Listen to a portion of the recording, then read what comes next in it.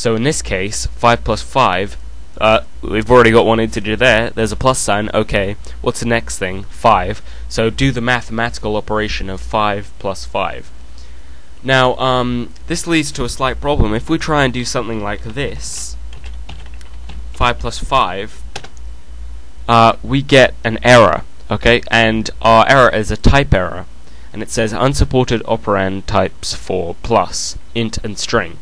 That's because, um, in certain cases, if we did something like this, 5 plus 5, it outputs and it gives us 55 because it's concatenating two strings, and in that case, it's not actually doing a mathematical operation, it's just joining them together. So that may look like 55, but actually it's just two fives next to each other.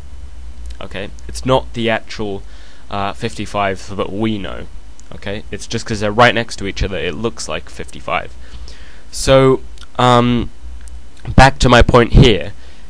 Uh, Python will always try and do the mathematical operation, which means when you try and add a string to an integer, mathematically, it's not possible, obviously. There's no way in in the world, in the universe, that you can add a string to an integer. Um, and that's just because of the physics of letters and numbers. There's no way you can put them together.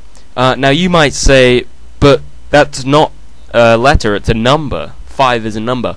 But whenever it's between quotes, Python will always interpret it as a string. It um, and like I said before, it's not going to bother trying to search the string to see if it only has a number in it, because that would defeat the whole purpose of strings, okay?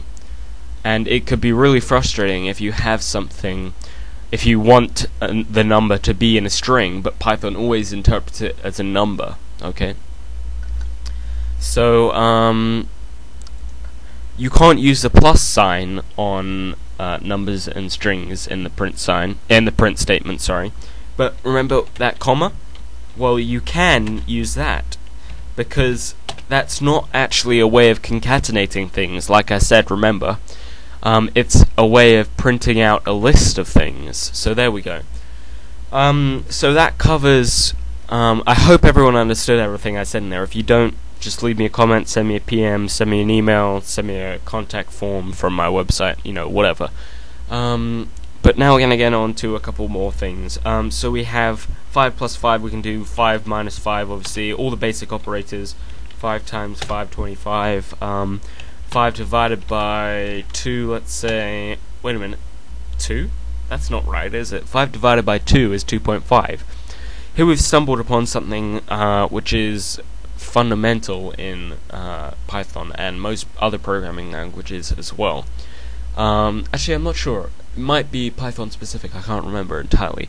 But it's this is what's called integer division. Okay, when all the numbers in the division are integers, that means they have no decimal place. They're not floating point numbers, is what they're called.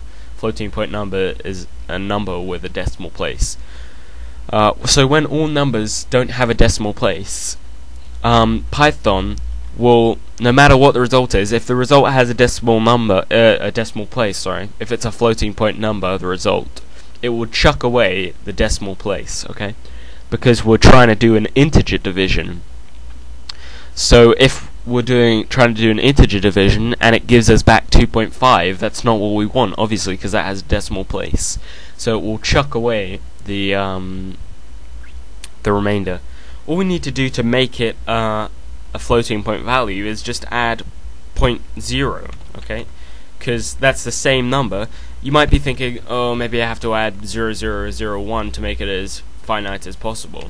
But 5.01 uh, divided by 2 point so and so 1 isn't the correct answer. You can see we've got this bunch of numbers on the end here. That's wrong, obviously. So we can just add 0.1. That's legal. And if we do that, we get 2.5, as expected. Um, and if we do 5.0 divided by 2, we still get 2.5, because remember I said uh, when all numbers in the division are um, integers, then it will do integer division. But in this case, um, one of them is a floating point number, so it does the floating point uh, division or decimal division I should really say and it's the same backwards as well 5 divided by 2.0, 2.5. Okay? Um, let's just talk about something. If you always want to do decimal division, apart from in very special cases, um, and you don't always want to have to add 0.0 on the end, you can do something. All you need to do is type from underscore underscore, two underscores, future, underscore underscore, import, division. Okay? And now, if I do 5 divided by 2, I get 2.5. Uh, and that's what from underscore future underscore, I just said one underscore because I don't want to have to say both of them, but there are actually two there. So from underscore future underscore import division, okay? And that will make every division you do uh, floating point division or decimal division. Uh, but there are special cases where you want integer division. For that reason, if you've imported um, division from future, all you need to do to get into division, integer division, sorry, is type is use the double forward slash operator, uh, and that will do an integer division. Okay, as we can see. And the final operator is a modulus operator, which returns oops returns the remainder of a division between the two numbers. So 5 mod 2 returns the remainder of 5 divided by 2. Obviously the remainder is 1, so 5 mod 2 will be 1. Okay? So those are oh wait, just one more as well actually I almost forgot. Uh, is the double multiplication operator which does the exponent. So 2 exponent 2 or 2 squared or 2 to the power of 2, okay? And you can do it with any number, 5, uh, 2, exponent 8. There you go, okay? So, um, that is, I'm pretty, yeah, that's, that's uh, everything for this tutorial. Next tutorial we're going to be getting onto variables. Okay, guys, over out.